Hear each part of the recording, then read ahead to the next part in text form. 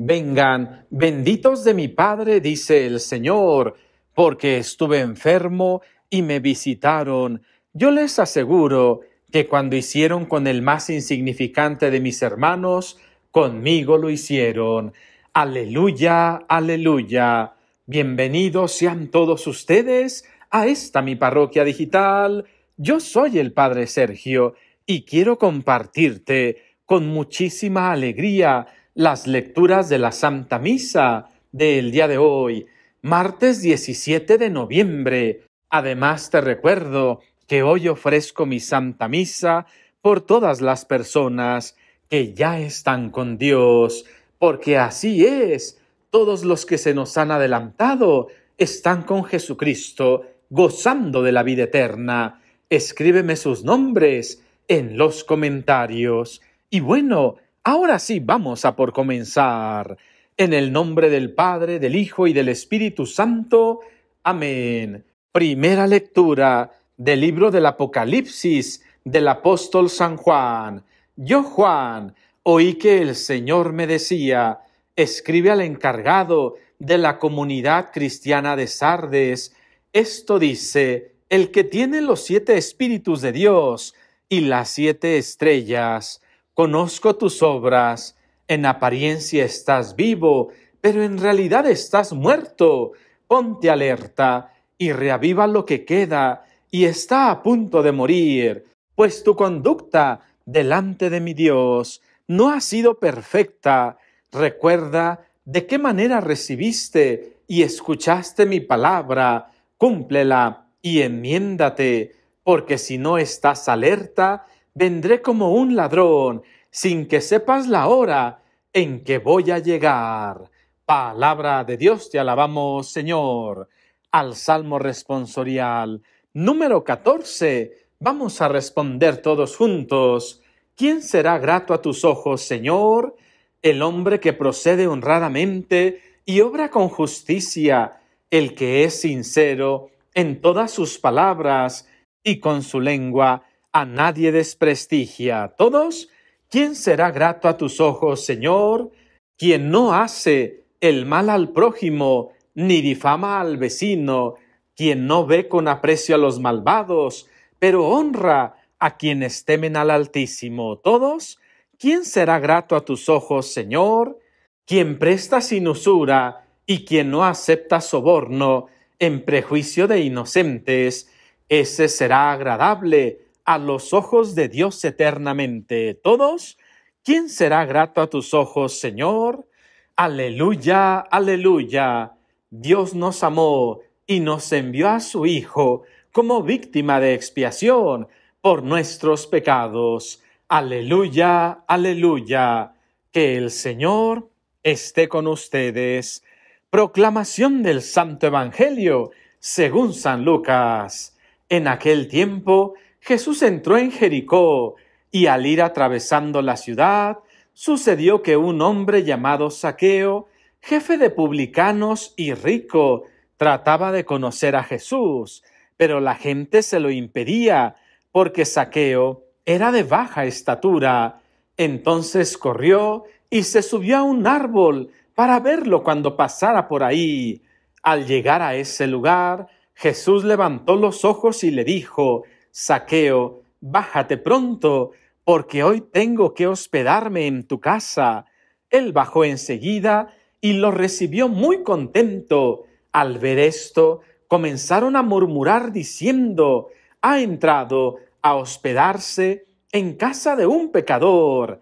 Saqueo, poniéndose de pie, dijo a Jesús, Mira, Señor, voy a dar a los pobres la mitad de mis bienes, y si he defraudado a alguien, le restituiré cuatro veces más. Jesús le dijo, hoy ha llegado la salvación a esta casa, porque también él es hijo de Abraham, y el Hijo del Hombre ha venido a buscar y a salvar lo que se había perdido. Palabra del Señor. Gloria a ti, Señor Jesús. Hermanito y hermanita, en la primera lectura hay palabras muy duras. Dios dice con claridad, conozco tus obras, en apariencia estás vivo, pero en realidad estás muerto.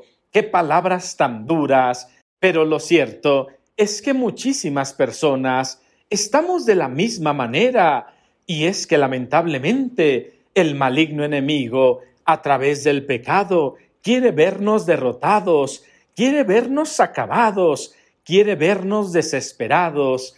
Así es que una persona que vive en pecado, una persona rencorosa, una persona llena de envidia o de avaricia descontrolada, en realidad es una persona que ya está muerta, porque no puede disfrutar la vida, porque no puede sonreír, porque no puede cantar, porque no se permite disfrutar de los demás, de las bendiciones que tiene y del amor de Dios. Así es, hermano y hermana. Yo sé que lo que estoy diciendo son palabras muy duras, pero son verdad. Muchos de nosotros, lamentablemente, aunque estamos con vida física, no tenemos alegría, no estamos tranquilos. Ahora sí, que como dicen por ahí, la culpa nos persigue. Así es que te invito, recupera la vida, recupera la gracia, confiésate, enmiéndate, reconoce tus faltas, ama a tus hijos con todo tu corazón, cuídalos muchísimo, apóyalos y verás cosas maravillosas te van a suceder. Tu vida regresará a tu cuerpo y todo será alegría y gran felicidad. Y pasando al Evangelio, nuestro Señor se encuentra con Saqueo, que ciertamente era un abusado, era un pecador, pero a pesar de eso, Jesús sabe que necesita conversión, así es que decide ir a su casa y hospedarse con él. Y allí, hermano y hermana, la gente empieza a hablar y todos se espantan porque Jesús convive con Saqueo, que es un pecador. Pero nuestro Señor, de manera muy clarita, les dice a todos, ¡Ey, ey, ey! La salvación ha llegado a esta casa y Saqueo se arrepiente y a partir de allí cambia de vida. Hermano y hermana, hoy quiero darte palabras de esperanza.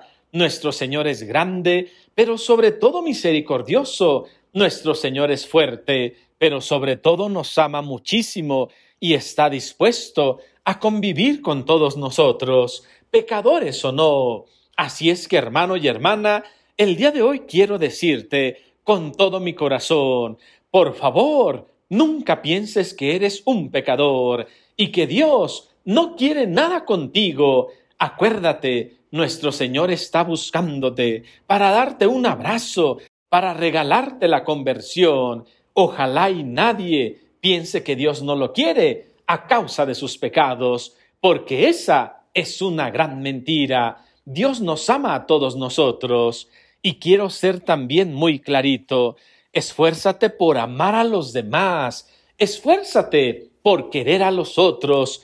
No los saques de tu vida. No los señales de pecadores. Porque nuestro Señor los ama muchísimo y los protege. Y es que hay muchos de nosotros que nomás con la tijerita, nomás con la lengua bien venenosa y bien ponzoñosa, criticando a los que se equivocan.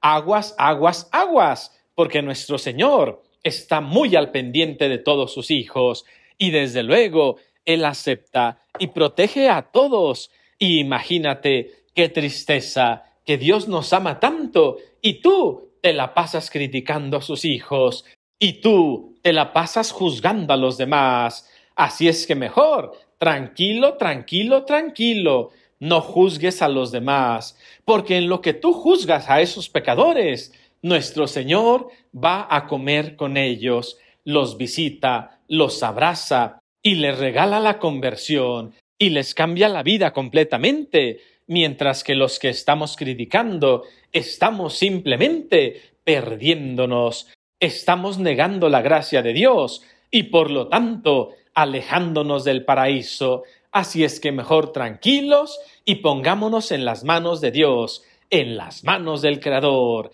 Claro que sí. Y ahora permíteme darte la bendición. Que el Señor esté contigo. La bendición de Dios Todopoderoso, Padre, Hijo y Espíritu Santo, descienda y permanezca siempre contigo, con tu familia y en el mundo entero. Yo soy el Padre Sergio y esta es mi parroquia digital. Que el Señor te bendizca muchísimo. Te mando un abrazo inmenso y ya sabes, seamos misericordiosos, convirtámonos, dejemos de criticar y reconozcamos que la misericordia de Dios es grande.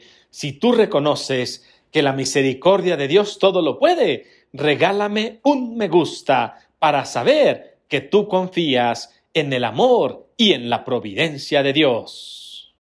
Thank you.